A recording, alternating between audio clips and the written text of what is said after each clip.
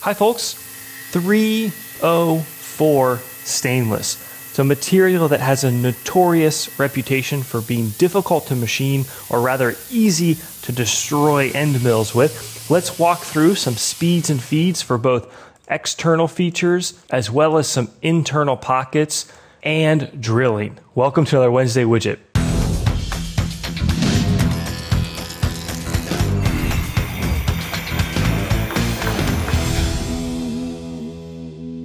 In Wednesday Widget 164, we covered speeds and feeds for aluminum and regular or mild steel. Both of those materials, they're relatively forgiving. They're relatively free machining.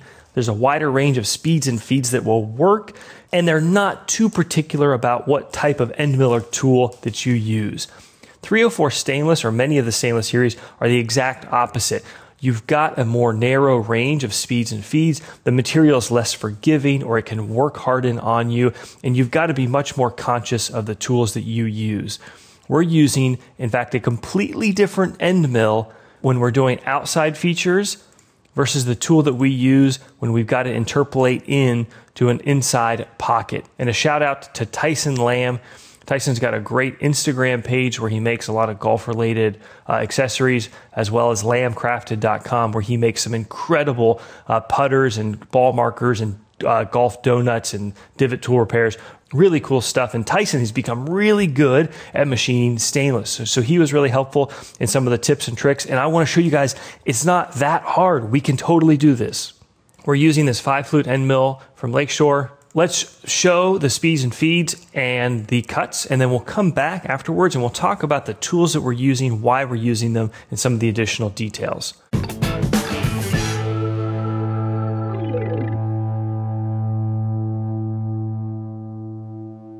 First, we'll start with the outside profile. We'll do a 2D adaptive first, 200 surface feet per minute, two thousandths of an inch feed per tooth, that's about 0.05 millimeters. 0.05 inch, that's about 1.3 millimeters or 20% of the tool diameter optimal load. We're leaving 20 thousandths of an inch or about half a millimeter as well. One of the big differences with this 2D adaptive plus 2D contour recipe is in the 2D adaptive, I normally don't leave as much radial stock to leave, but I want to leave enough here that the tool can dig underneath the 304 skin, which can often work harden and is something where you're just not going to be able to take, just like we talked about in Wednesday Widget 164, you can't take little one thou whisper cuts on stainless. It uh, will devastate your tools quite quickly. And finally, a 2D contour. Same recipe on the cleanup 200 surface feet, 2 thou per tooth. I'm staying 1 thou off of the floor just to avoid rubbing along that floor. Switching over to internal pockets. So, totally different strategy. And what's interesting to me is we're going actually against the recommendation of even Lakeshore here. And I say that only because that's one of the things when you get into these materials is you have to figure out what simply works for you. So I want to do two things. I want to give you guys a starting recipe just to run with, but also the kind of confidence to start thinking about this on your own. So we're using a four flute regular variable flute end mill. So that's not their stainless style, and it's four flutes instead of five flutes. Again, we'll come back to more about that in a minute. 225 surface feet, only one thousandth of an inch per tooth. A reduced optimal load, in this case, is only 10% of the tool diameter or 0.025. Max roughing step down of 0.15 inches, 15 thou radial stock to leave, and max 2 degree helix.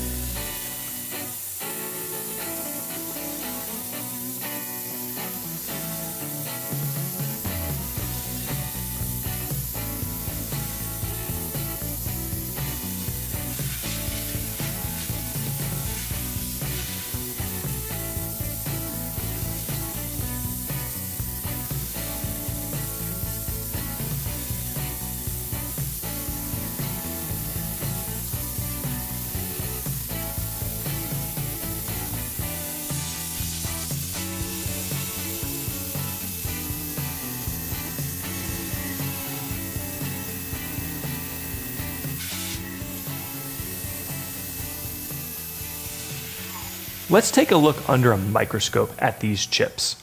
We've got an aluminum chip, a mild steel chip, and then the 304 stainless chip. If you take a look at the aluminum chip, you can see how the material appears to be almost like it's slightly torn. It doesn't have that really crisp cut. We look at the mild steel, it does have pretty clean shear lines.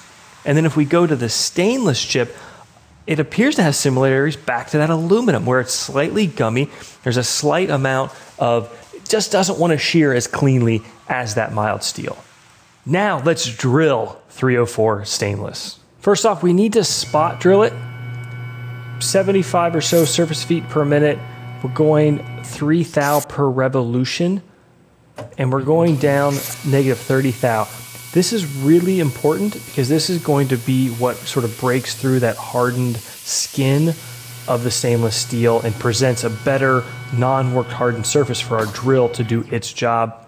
Then we're drilling 3 16 drill. It's cobalt. We'll come back to that in a second. 45 surface feet per minute, 3 thou per rev. Really important. We're taking pretty big peck depths, bigger than I would normally go. In this case, just shy of one times diameter. So it's a 0.1875 drill, about 4.7 millimeters, and we're pecking about that same amount. Worked great, which gets me really, really excited. And I really, again, appreciate Tyson. He was spot on.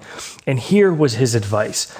Cobalt is the way to go for drilling 304. It's great because it's actually pretty darn inexpensive. The drill bit we just used is from McMaster for three dollars and sixty-seven cents. That's very inexpensive for uh, for what the task is at hand. Forty-five surface feet per minute, three thou per revolution. We just mentioned that. Full or big peck depths. That's what's really important here. If you take small pecks, what you're possibly doing is exposing the drill to more of a work hardened surface. Here's the other funny thing DeWalt or Cobalt type drills from Lowe's or Home Depot can work as well.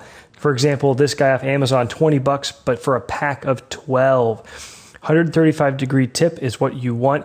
Stay away from the drills that have this sort of branded thing. They think they call it pilot point. You don't want to use those. So that's the good news. You can probably even find these drills locally. We've never bought a drill for another reason uh, in this for the CNC shop at a Home Depot or a Lowe's. However, you are going to need a spot drill to center drill it that has equal or bigger angle. And I actually didn't have one of those laying around the shop. So we went on to McMaster and purchased this, link in the video description, 140 degree carbide spotting drill. Should last a pretty darn long time. Another important tip is make sure your first peck isn't a shallow peck. What do I mean by that? Take a look at a wireframe view we're coming in and we're spot drilling down to that depth. And then we are doing our peck 0.16 inch deep.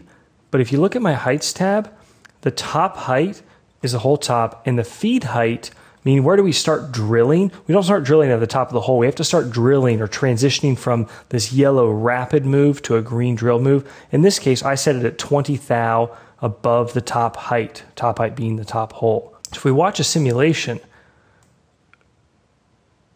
peck, peck, peck, peck, peck, back up. So see that first peck was deep.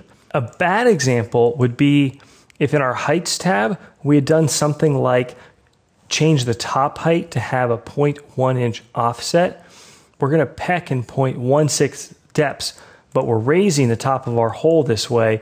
So what can happen is that first peck doesn't go very deep or deep at all, and that can instantly fry a drill. A couple final tips. If you're going smaller than one eighth of an inch, don't use cobalt, but rather use carbide. The good news is the carbide drills are less expensive in those smaller diameters. And then just be careful with really thin sheet stainless or sheet because you've got a skin on both the top and the bottom. Thin stuff is more skin relative to the overall thickness, so it's actually more difficult to drill, and so you may be better off interpolating it. Quick recap we've got two different quarter inch end mills. The five flute for stainless, we recommend for outside profiling or cleaning up. Don't ramp in with it. Here's the link, and here are the basic speeds and feeds. And we have the four flute quarter inch. This, even though it's not technically meant for stainless, we've had great luck with it, as has Tyson. Use it for internal pockets or when you've got to ramp into something, and here are your starting feeds and speeds. So let's talk a little bit more about these two tools and what's interesting.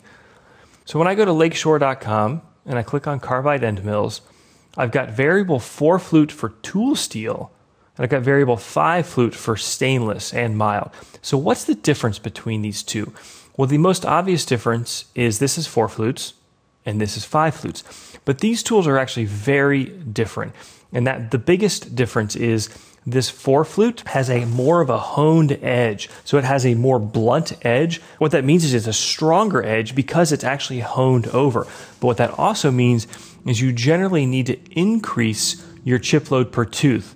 Remember again back to the speeds and feeds in widget 164, this inch per tooth. Because it's a honed edge or has less sharpness, we need to increase that inch per tooth so as it engages that material, that more honed edge is still able to dig underneath and not rub.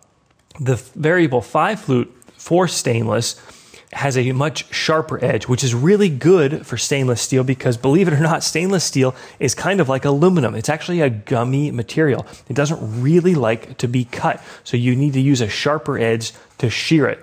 So we use that 5 flute for these external features. We found this to be really reliable and really great. The problem with the 5 flute is it doesn't like to ramp. That's the red helical lead into a blind pocket. And the biggest reason it doesn't like to do that is only one of those five flutes actually goes all the way to the center of the face. So in some respects, you're only cutting with one flute as you're doing an interpolation, and there's very little gash clearance, uh, which is the ability on the face of that tool to evacuate or cut the chip. So you could adjust the helical ramp diameter to try to work around that. But the better answer, and again, shout out to Tyson for the help here, is just use the four flutes. Yes, it's technically in the title not meant for stainless in the description includes stainless steels. And i'll admit as a layman this sometimes is frustrating but as you get into these more exotic materials you've got to use recipes that your tooling supplier or uh, people who have done this before work and if it works awesome. Some other tips and tricks. When you do a helical ramp in never use more than two degree ramp in. Again we recommend and tyson recommended using the four flute instead of the five flute.